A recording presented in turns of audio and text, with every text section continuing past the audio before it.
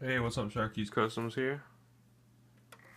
This is a RGH1 Falcon with the red LEDs and the white and the red LEDs for the power button.